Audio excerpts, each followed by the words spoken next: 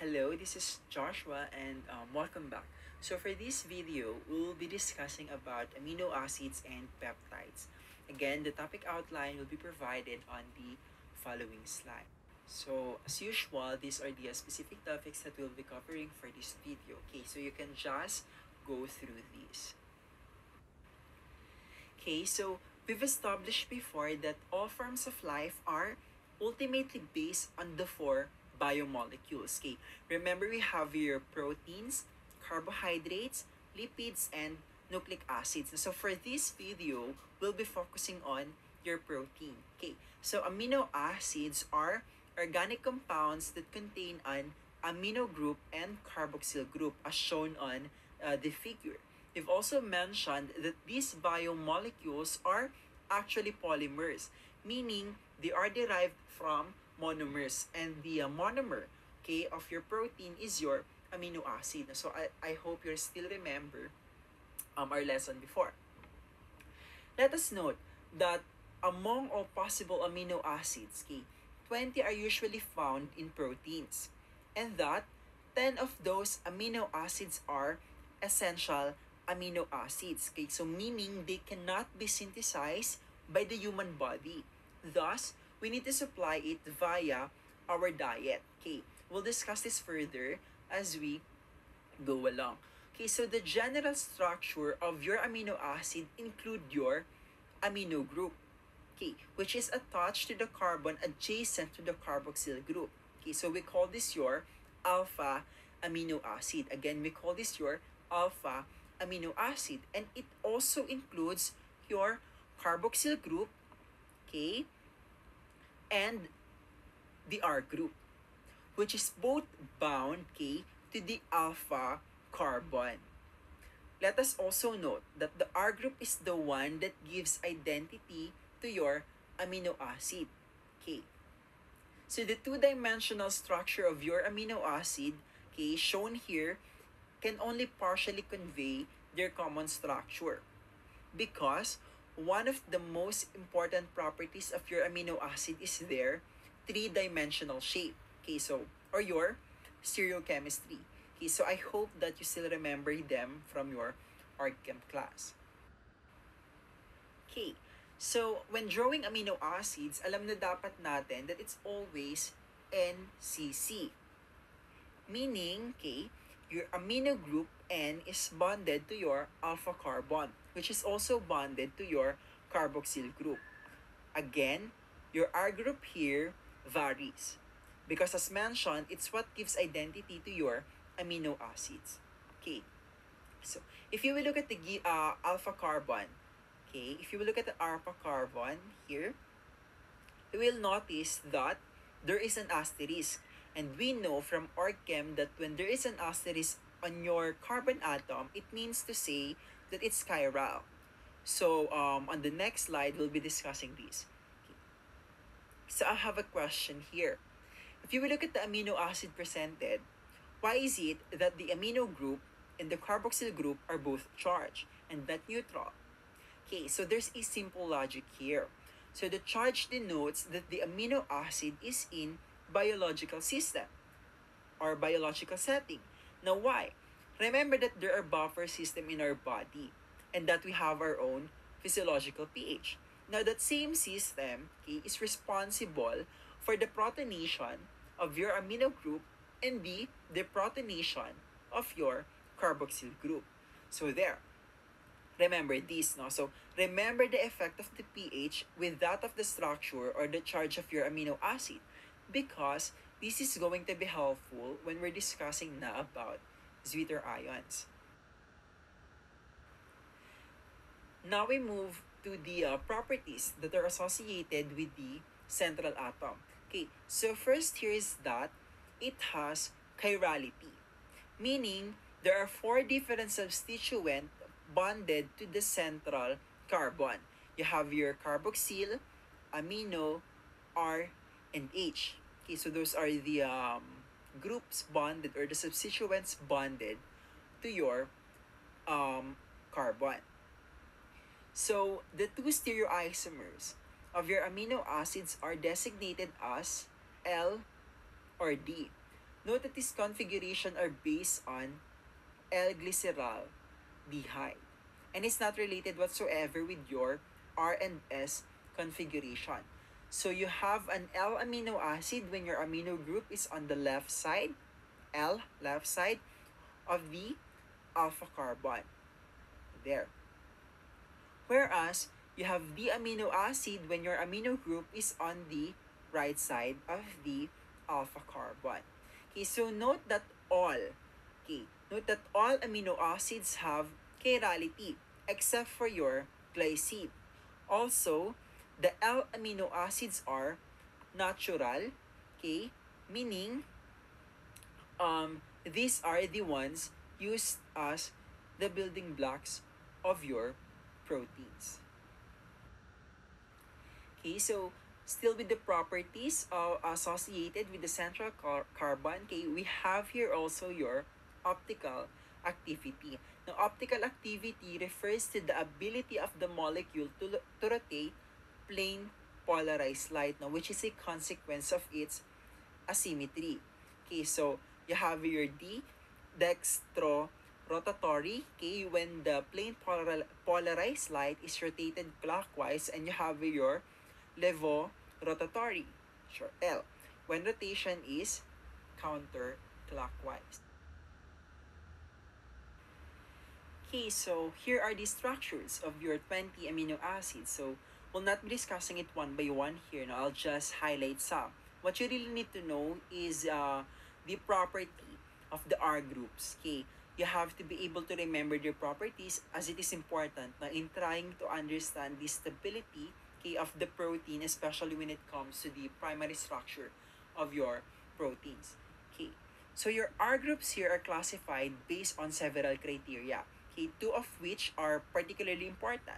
Okay, so the first of these is the uh, polar or non-polar nature of the side chain.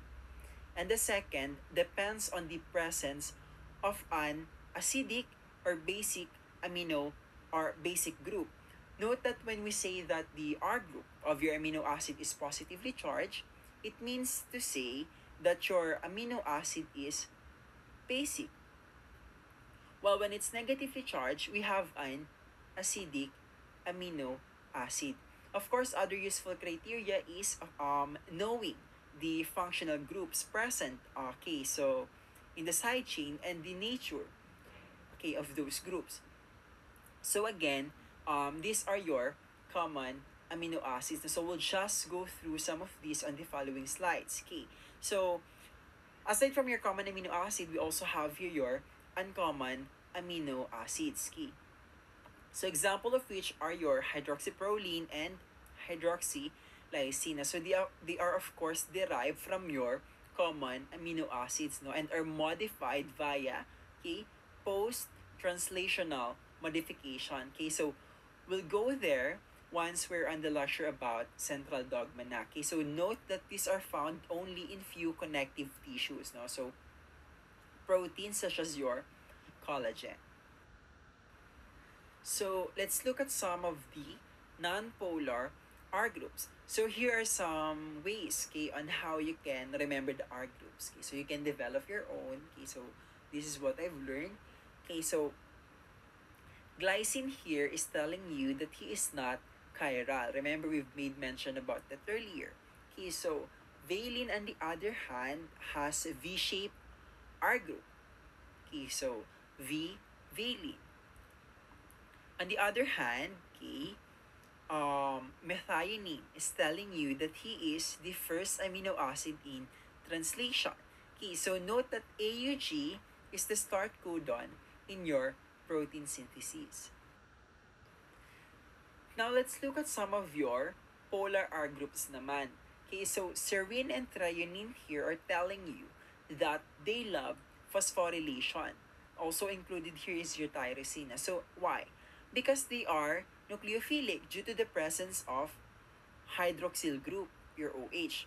If you're not yet familiar, protein phosphorylation is a reversible post-translational modification, okay, in which your amino acid residue is phosphorylated, okay, by a protein kinase.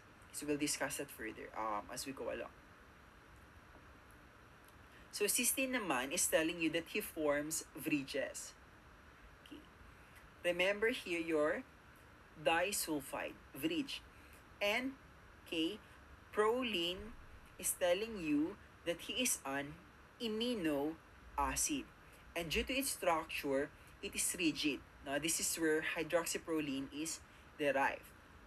Asparagine naman is the amide version of your aspartate. Okay. Okay, so now let's move to basic R groups. Okay, so your arginine has guanidino group, which looks like urea.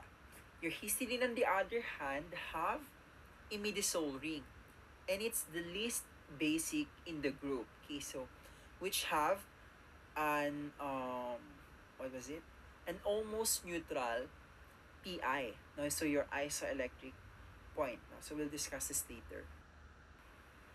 Okay, so let's look at naman yung ating acidic R groups. So by the way, your amino acids can be referred to as a uh, three-letter or one-letter code, no? A list of which will be provided on the uh, following slide. So now, that being said, okay, how do we remember your negatively charged R groups? Okay, let's look at aspartate. Okay. Note that the uh, one-letter code for aspartate is D. Okay, What's the reason for that? If you will count the carbon atom present in this particular amino acid, you will find that it has four carbons. Okay, and the corresponding letter K in the alphabet for 4 is the letter D. And there, that's how they did that. So same thing for your glutamate. Okay, the one letter code for glutamate is E. That is because it has 5 carbons. Okay, so lastly, let's move to the uh, non-polar aromatic R groups. No? So let us note that since you have here conjugation, it follows that these amino acids can absorb at different wavelength. Okay. Uh, your phenylalanine here absorbs at around 260 nanometer. Okay while your tyrosine naman and tryptophan absorbs at around 280 nanometer. Now, also your tryptophan here have indole ring. No? It is worth remembering that these amino acids are essential, okay, or essential amino acids. So why? If you will look at their structure, you'll notice that they are aromatic and thus complicated R groups. Now, your body can synthesize them because it's going to cost too much energy and at the same time, okay, we lack the enzyme to do so. That's why wala kang choice but to supply it to your body via that. Okay, so again, as mentioned before, okay, 10 of the 20 amino acids are essential. So meaning they cannot be synthesized by humans. Okay, so one of the reason for that is because we lack the enzyme no, to help uh, on the uh, synthesis. Okay, so provided here on the uh, top part is the uh, one letter code for uh, one of your uh, essential amino acid and if you go naman pababa is the three letter code for the same amino acid. Okay, so for example, phenylalanine has P as its one letter code and Phe or PHE for its three letter code. Okay, um, so provided here is a table of the three letter and um, one letter code of your amino acids. Now, So, okay, um, you have to uh, memorize this or um, at the very least, okay, be uh, familiar with it. No? So same thing with the uh, structure of your amino acids. You have to uh, familiarize yourselves um, with the structure of your R groups. Okay, so um, because of their functional groups, no, so amino acids are amphoteric in nature, meaning they can act as both acids and bases. No? So at neutral pH, okay, the carboxyl group is negatively charged. Okay, so while the amino acid group is positively charged now. So let's introduce now the uh, concepts of uh, Zwitter ions. Okay, Zwitter ions are electrically neutral compounds where um, you have an equal positive and negative charge. Okay, so note that you have a charged molecule but neutral over um, overall. Okay, also note that um, amino acids, okay, without charge groups on the side chain exist in neutral solution as Zwitter ions. Okay, so um, remember your Zwitter ions are electrically neutral compounds. Okay, um, you have charged parts. Okay, but neutral overall. Okay, so due to its dipolar ion form, amino acid exhibits physical properties, okay, associated with salt as listed here. Okay, so you can just go through that. Again, as mentioned, okay, your amino acids are amphoteric in nature.